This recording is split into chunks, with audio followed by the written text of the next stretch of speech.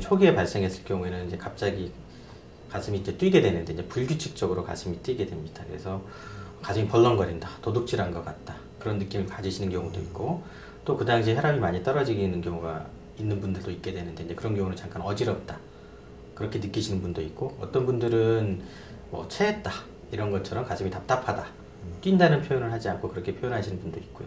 가장 중요한 원인은 우리가 사람이 나이를 먹는 거가 될 것 같고요.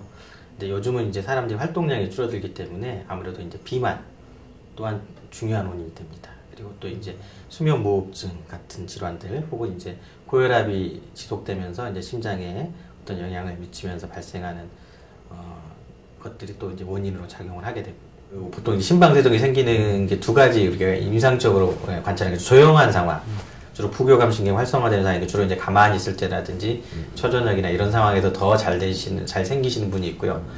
어, 그 스트레스 받는 상황에서 잘 생기시는 분이 있어요. 가만히 있는 상황에서 정신적인 스트레스의 상황에서 잘 생기신 분이 있고 또 어떤 그룹들은 활동을 많이 할 때 그때는 이제 더 잘 생기시는 분들이 있습니다. 그래서 얘기를 들어보면 혹은 또 음식 같은 걸 먹을 때 이제 꿀꺽꿀꺽 연화 작용을 한다든지 뭐 이런 상황에서 좀 더 부정맥이 잘 생기시는 분도 있고 증상이 발생할 때 심전도를 찍는 것 외에는 어, 우리가 진단할 수 있는 방법이 없습니다. 그래서 심방세동 환자들이 이제 병원을 평상시에 가시게 되면 증상이 발생하지 않을 때 검사를 하게 되면 거의 대부분 정상으로 나온다고 보시면 될 것 같습니다. 우선 이제 발작적이라는 거죠. 증상이 초반에 생길 때 발작적이라는 거기 때문에 그 발작이라는 순간에 일어나는 순간에 우리가 이제 검사를 하지 않으면 그 나머지 발작이 없는 시간에는 정상으로 발견되기 때, 나타나기 때문에 이제 가슴이 뛰는 거 가지고 주로 많이 가시는 게 이제 혹시 정신과라든지 뭐 불안장애 이런 식으로 다니는 경우가 간혹 있을 수가 있게 됩니다. 어, 가장 중요한 검사가 이제 그 증상이 있는 순간에 심전도를 찍어야 되기 때문에 우리가 이제 장시간 심전도를 찍는 수밖에 없습니다. 이제 확률을 높이기 위해서 하루를 찍는다든지 이틀을 찍는다든지 일주일을 한다든지 요즘 같은 경우는 이제 워낙 스마트폰이 잘 발달돼 있으니까 특수한 방법을 통해서 이제 그 상황 당시의 심전도를 전송하거나 혹은 이제 이런저런 방법을 통해서 도저히 발견되지 않으면 우리가 이제 loop recorder라 그래가지고 이제 가슴에 어떤 심전도 모니터링 할수 한 3년까지 모니터링이 가능한데 그런 거를 이제 삽입하는 경우도 있을 수 있습니다. 어, 심장이 뛰는 거는 이제 심장 근육이 움직이려면 이제 심장에 정기적인 자극이 있어야 됩니다. 그래서 어, 정상적으로 심장에서 이제 전기를 발생시켜서 심장을 뛰게 하는 그런 부분이 활동을 해야지 우리가 정상적으로 심장이 뛰는 건데 어, 정상적인 부분에서 이제 맥을 만들어 맥을 만드는 전기를 발생시키지 못하고 심장의 여러 부분 다른 부분들에서 이제 전기적인 이제 활동이 생기면서 이제 뭐 혼란 상태가 되는 거죠. 이제 그런 상태들을 우리가 이제 진단하는 방법으로 그런 정기적인 현상을 우리가 어, 관찰을 해야 됩니다.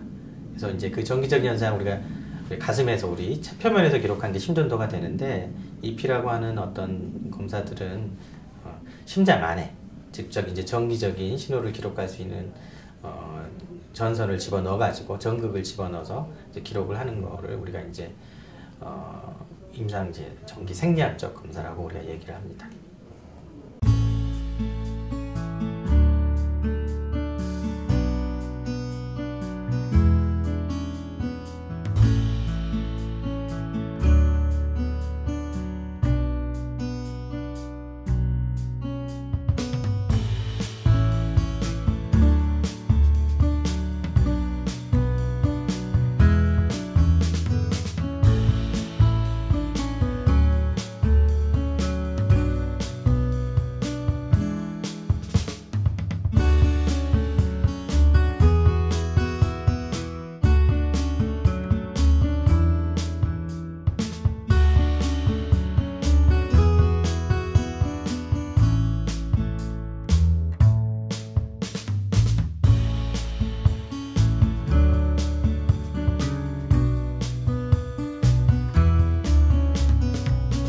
기본적으로 젊은 분들이 주로 많이 요즘 많이 생기게 발생하는 확률이 많이 느는데 대부분은 이제 음주하시는 거 되게 큰 영향이 있기 때문에 금주하시는 게 되게 중요합니다. 금주하는 게 중요하고 그다음에 이제 비만 또 굉장히 중요한 원인이 됩니다. 그래서 적절한 체중을 유지하시는 것도 되게 중요하게 될 것 같고요. 적절한 운동이 또 중요하고 또 이제 운동을 하라고 그래서 이제 굉장히 과격한 운동을 하시는 경우가 있는데 과격한 운동도 이런 심세동 같은 부정맥을 더 잘 유발할 수 있습니다. 그래서 과격한 운동은 안 하시는 게 좀 더 나을 수 있, 있을 것 같고요.